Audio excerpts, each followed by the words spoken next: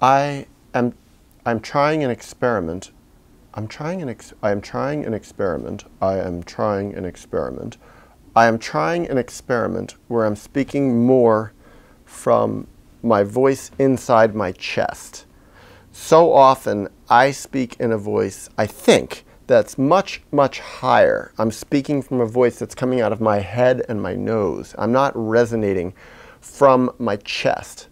So I am practicing, trying to see how it sounds, how it sounds, to speak, to speak in a natural way from a voice that is deeper inside me. And I don't have very much experience doing this. And it sounds a little strange, frankly.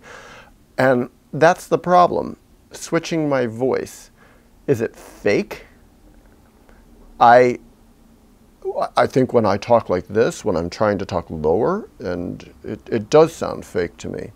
This is not actually how I feel. I sound like I'm putting on airs, like I'm being pompous.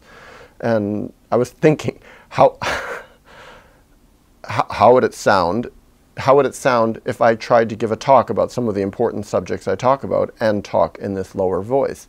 The problem is, I think any reasonable audience that is emotionally connected would be able to feel that I am not being sincere and I'm being conscious. I think naturally I want to speak in a higher register.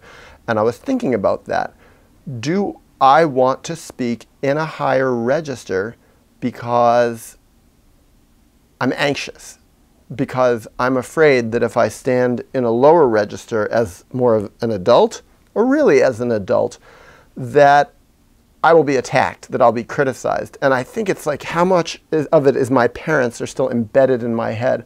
I'm not allowed to be mature. I'm not allowed to be an adult. I still have to be a child that speaks in a higher, more anxious voice because they'll criticize me, they won't believe me. So it's like in a way, am I unconsciously making myself younger or belittling myself a little bit so I will be less threatening, so I will therefore feel safer? Well, it's strange because I think I am now more spontaneously talking in a lower register from my chest voice, but as soon as I think about it, it seems conscious, and then I become self-aware and in a self-conscious, probably the best word. It's kind of awkward. Another thing I'm doing now is I raised my camera a little bit, and I'm sitting higher. My back is straight. My legs are straight and square.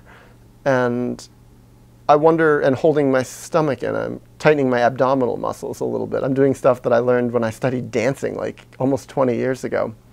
So I'm wondering if that will make it easier for me to speak from a lower register. I feel like my stomach is a little weak now that I'm thinking about it. It's like, which goes to show that I probably don't keep my abdominal muscles strong a lot, and therefore it's harder for me to support my diaphragm and my open chest.